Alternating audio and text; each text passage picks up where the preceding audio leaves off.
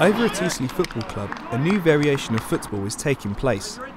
Walking football is a sport for the over 50s where running is prohibited. Eastleigh Football Club has been running sessions for two months now, and after originally starting with eight people turning up to sessions, there is now a membership of 30 people. In March, Hampshire will be hosting a walking football tournament across the county with a view to creating a competitive league. We picked up the sport about just over a year ago. We had one club running, we've now got close to 20 clubs running. Um, in that time, we've developed the rules of the game. Um, so we get people from Scotland coming to us, people from all over the UK. We're the only county to develop an actual way of awarding people who are running walking football clubs. Before it could just be somebody who set up their mates and put on a grassroots pitch. We're actually standardising it. We've got rules, we've got safety, we've got you know reward systems for them. Winchester News Online was invited to take part in a training session, and ever the enthusiast, I was more than happy to give it a go. The extreme difficulty with walking football is in the title.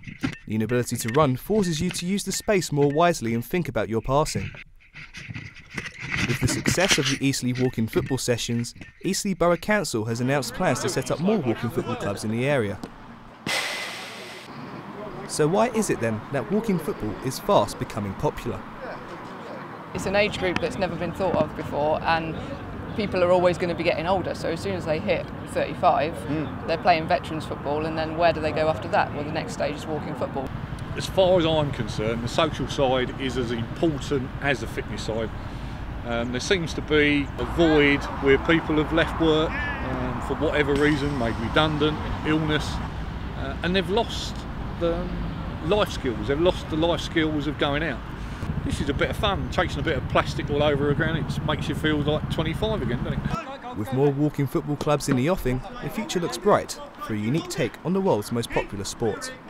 Ross Perkins, Winchester News Online, Eastleigh.